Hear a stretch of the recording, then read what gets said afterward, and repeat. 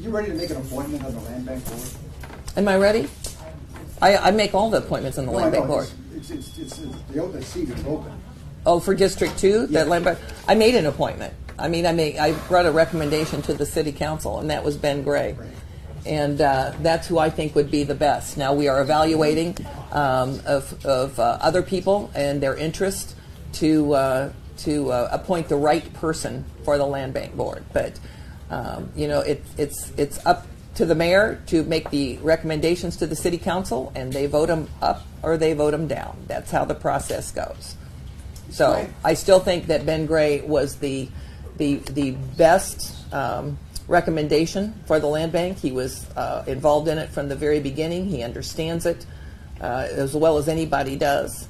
And so right now they have enough uh, on the board to function properly and to function and, and do anything that they need to do. So we're very carefully considering who else we could appoint for the District Two position. So you're not, you're not gonna br- bring Ben Gray's appointment back? Uh, You know, I'm not sure what I'm going to do yet, but probably not bring Ben's back. Um, it was voted down by the city council. That's their job. I make a recommendation to them. They vote it up, they vote it down. Uh, but I want to get the right person. Have you, have you discussed this with, uh, Councilmember Johnson?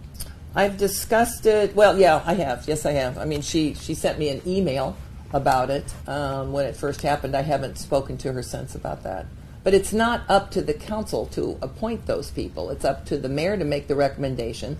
They vote it up or down. That's how we do everything. I, I appoint over 65 boards and commissions. That's how we do it.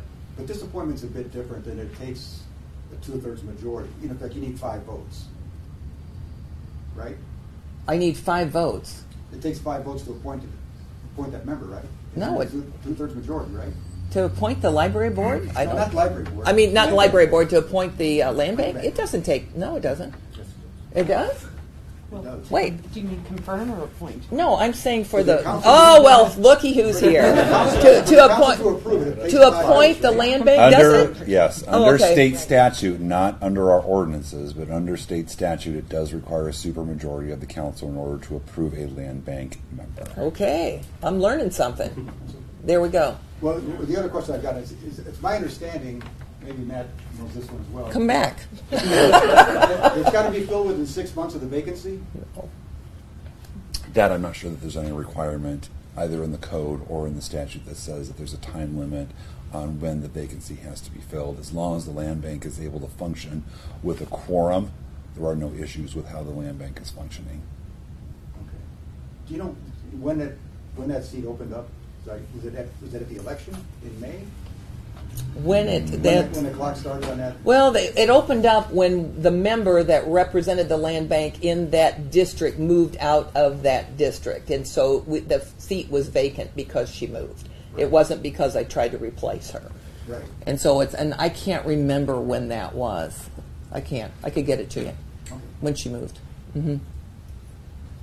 All right.